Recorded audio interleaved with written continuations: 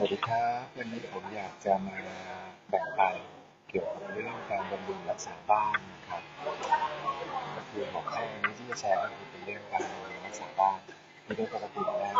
วันนี้ใกล้ปีใหม่แล้วนะครับก็เลยอยากจะแนะนำเรื่องนี้เพราะเหมือนกับเราใช้รถจะมีการเปลี่ยนถ่ายน้ำมันเครื่องการดูแลทุกหกกิโลหรือว่า5,000กิโลก็แล้วแต่บ้านก็เช่นเดียวกันนะครับ เอาเป็นว่าสมมติว่าบ้านเราอยู่เป็นหลายปีแล้วไม่ได้รับการบำรุงเลยเนี่ยก็มีความเสี่ยงที่จะเกิดอันตรายได้จากฟืนไฟเหมือนกับที่มีข่าวในช่วงอ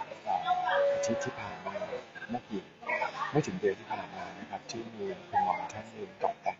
อาคารไว้ค่อนข้างใหญ่โตมากเลยแล้วก็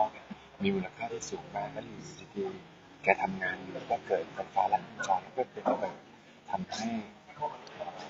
เกิดความเสียหายค่อนข้างมากเกินกว่าที่เราจะคิดคำนึงได้ฉะนั้นแล้วการดูแลรักษาบ้านเป็นสิ่งที่สำคัญมากอย่างเช่นเรื่องฟืนไฟนี้ก็เป็นสิ่งที่จำเป็นมาก แล้วก็มีความอันตรายมากเรื่องระบบน้ำประปาก็เช่นเดียวกันถ้าเกิดมีการรั่วซึมหรือว่าอะไรที่เราไม่รู้เนี่ยมันก็จะเกิดการสิ้นเปลืองหรือว่าบางทีเราอาจจะไม่มีสำรองน้ำไม่ใช้ในยามฉุกเฉินอย่างเช่นหลังคาก็เช่นเดียวกันถ้าเป็นหน้าฝนที่ผ่านมา ครไม่ได้ดูแลเรื่องหลังคาให้ดีเกิดมีการรั่วซึมจากหลังคาลงมามันก็จะลงมาสู่ฝ้าเพดาน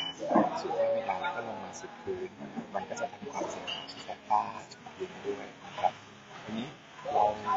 ก็ควรที่จะตรวจสอบบ้างอาจจะครึ่งปีครั้งหรือถ้าอย่างไม่ได้ไม่ดีเลย ก็ประมาณปีละครั้งอะไรบ้างที่ควรตรวจสอบผมอยากจะแนะนำไปที่งานระบบก่อนที่บอกเรื่อง งานระบบไฟฟ้า ตรวจสอบพวกดวงไฟสายไฟทุกจุด ว่ามันใช้งานดีไหม ใช้หลอดประหยัดแล้หรือเปล่า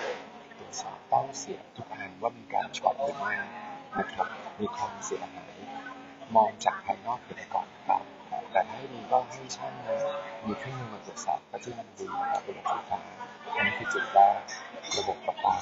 ระบบสายระบบโภคเช่นท่อระบายน้ำที่จะเดินออกไปจากบ้านเราไปสู่ข้างนอกมีการ ซึมหรือเปล่าการผสมกลิ่นเหม็นได้หรือไม่ระบบปรับอากาศอันนี้ก็สำคัญมากระบบปรับอากาศที่ไม่มีความพร้อมเนี่ยมันไม่ทำให้เราสิ้นเปลืองทรัพยากรเรื่องกินที่คันมากเครื่องทำน้ำปุ่นอย่างเงี้ยนะครับอันนี้ก็สำคัญอีกชิ้นหนึ่งเป็นงานระบบต่างๆที่เราใช้กันได้อันนี้ก็มีสิ่งสำคัญ นอกนั้นก็จะเป็นงานพื้นฐานของงาสถาปัตย์ต่างๆเช่นพื้นพื้นตรงไหนที่มีการแตกที่อาจจะทำให้เราสะดุดเกิดความไม่ปลอดภัยหรือเปล่าผนังที่ตรงไหนมีการแตกร้าวหรือไม่ที่เราสามารถจะซ่อมได้ถ้าเราไม่ซ่อมเลยมันจะแตกไปเรื่อยๆแล้วมันก็จะทำให้เสียเพิ่มหรือฝ้าเพดานก็เช่นเดียวกันนะครับมีการแตกร้าวหรือไม่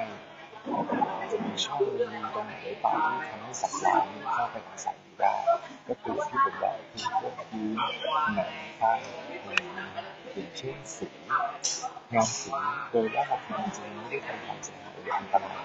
มันก็อาจจะทำให้เกิดเชื้อราซึ่งมันก็จะมีผลต่อความสะอาดได้ก็ฝากไว้นิดนึงครับว่าบ้านเราที่เราอยู่ทุกวันแล้วก็จะต้องตื่นขึ้นมาเจอแล้วก็เป็นที่พักผ่อนที่ อยู่อาศัยก็อยากให้ดูแล